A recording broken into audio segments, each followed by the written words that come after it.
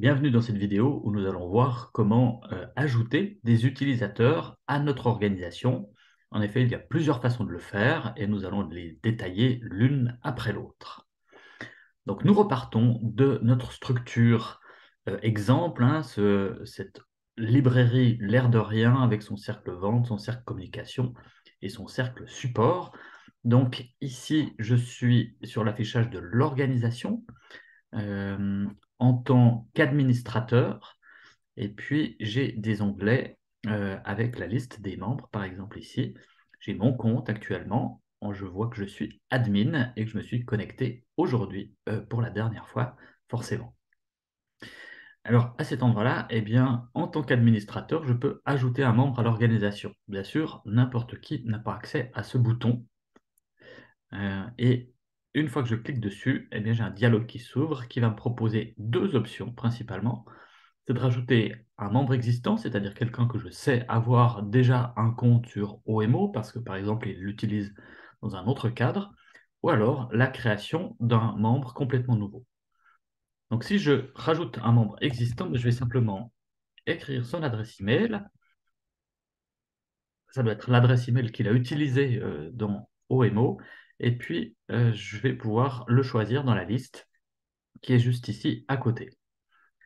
Je peux rajouter un petit message d'invitation pour personnaliser le mail euh, qui lui sera envoyé, euh, histoire que ça passe moins facilement dans les spams ou que si la personne ne se souvient pas trop qu'on doit la rajouter dans l'organisation, qu'elle ne soit pas nécessairement surprise. Donc, comme convenu, voici l'invitation à nous rejoindre.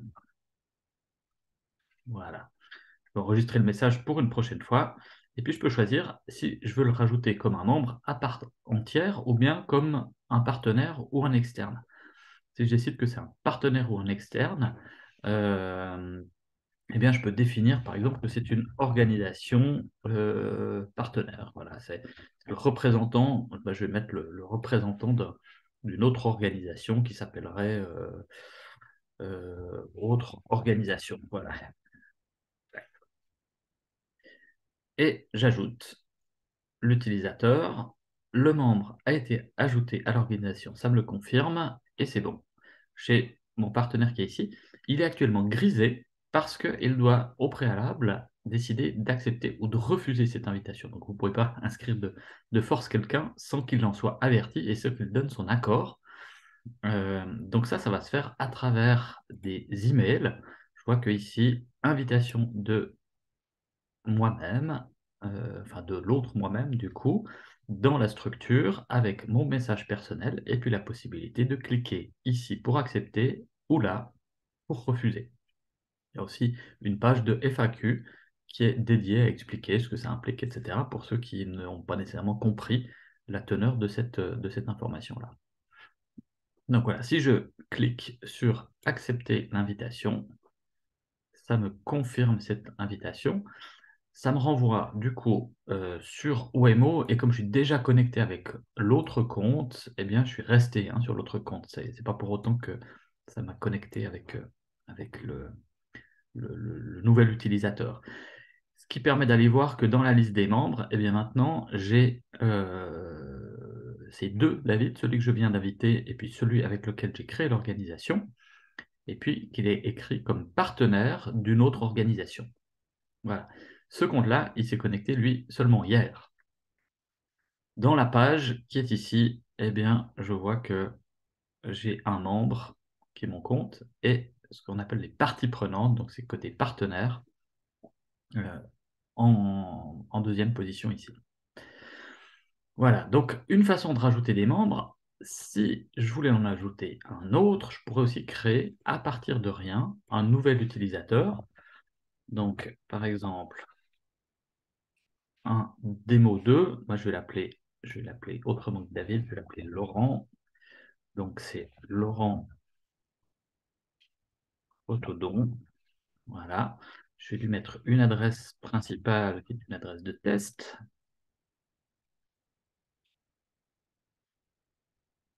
Et puis, même chose, un petit message personnalisé si nécessaire. Et celui-là, je vais le rajouter comme un membre à part entière. Même mécanique, j'ajoute euh, un message de bienvenue lui a été envoyé, il a été rajouté à l'organisation, il est en grisé, il a reçu deux messages. Il a reçu un premier message pour lui dire qu'il a un nouveau compte utilisateur qui a été créé. Donc la personne précédente avait déjà un compte ici, il y a un nouveau compte qui a été créé, et donc ça lui transmet euh, son login, son mot de passe, l'adresse du site auquel il ne le connaissait pas, etc. Et puis un lien sur un tutoriel qui lui explique la base de la prise en main de Waymo. Voilà. Et puis un deuxième mail a été envoyé qui permet euh, de, qui est le même que l'autre, c'est-à-dire l'invitation à accepter ou refuser cette invitation qui est ici.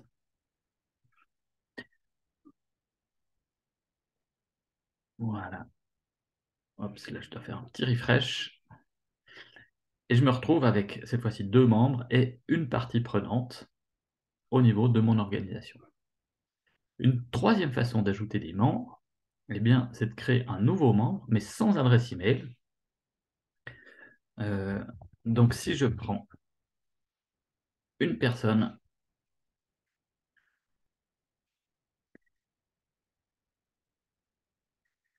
comme ici, et que je ne lui mets pas d'adresse email, je n'ai pas besoin de message personnalisé puisque rien ne va lui être envoyé.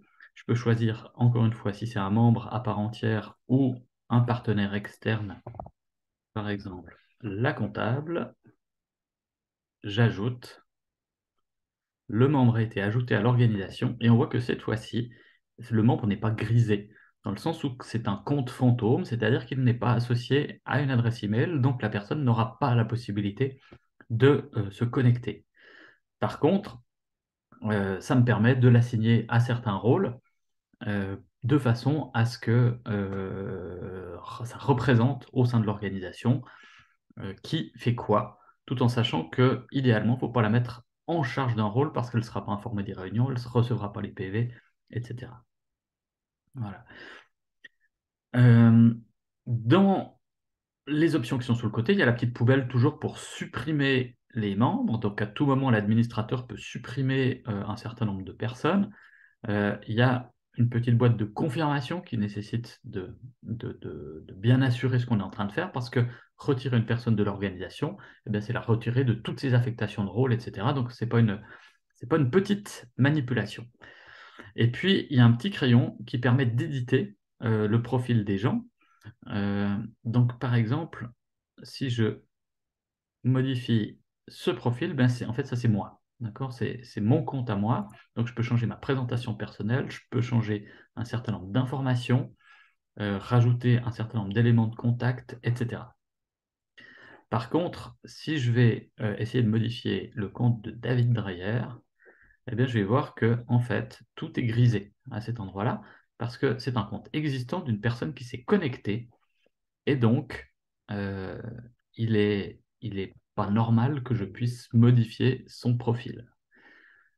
Les deux autres comptes, celui du compte fantôme, ben, par exemple, eh bien là, je peux l'éditer, je peux rajouter des informations, je ne peux pas changer l'adresse email puisque c'est un compte fantôme, mais je peux rajouter des contacts, etc., puisque la personne ne va pas pouvoir le faire par elle-même.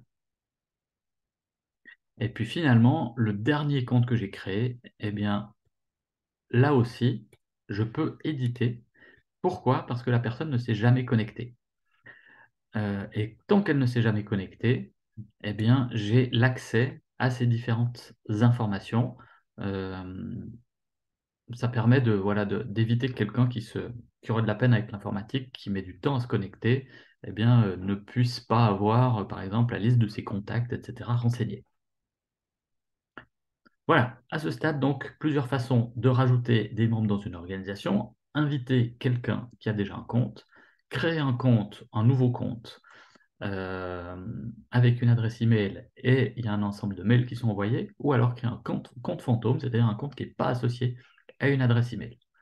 Donc ça, c'est pour ajouter à une organisation. Et puis ensuite, chacun de ces rôles eh bien, va devoir être ajouté au niveau des différents cercles. Donc, par exemple, là, je suis sur le cercle d'ancrage, je n'ai toujours qu'un seul membre qui est associé. Et je vais devoir euh, faire la même chose, ajouter un membre au cercle.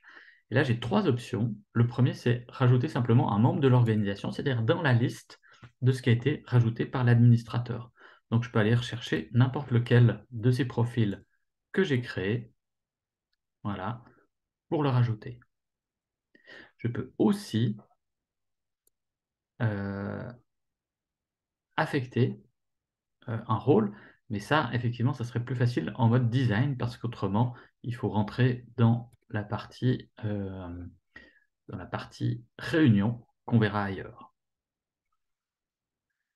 Et puis, si je suis au niveau du cercle d'ancrage et que je veux ajouter un membre au cercle, eh bien, comme je suis administrateur, et comme j'ai les droits de le faire, eh bien, je peux soit aller chercher un membre existant exactement de la même façon que on l'a vu tout à l'heure, ou créer un nouveau membre et j'ai accès au même formulaire.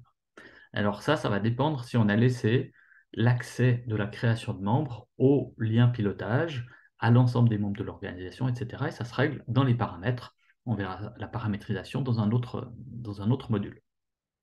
Et si je choisis ces options-là, eh bien, ça va faire la même chose, c'est-à-dire que ça va envoyer les emails de la même manière et ça va rajouter en même temps au cercle et en même temps à l'organisation les différentes personnes.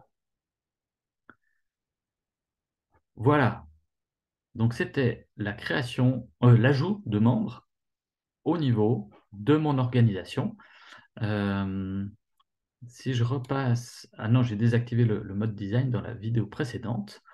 Donc, on ne peut pas voir comment, en affectant, si j'affecte à un moment donné le rôle médiation, par exemple, à un membre, eh bien, ça va le rajouter automatiquement dans la liste des membres qui sont ici. Voilà, j'en reste là. Euh, et puis, la prochaine étape, eh bien, ça va être de voir comment ces membres qui reçoivent ces invitations eh bien, se saisissent de ces mots de passe pour se connecter à l'organisation et commencer à pouvoir renseigner les informations qui sont attendues d'eux.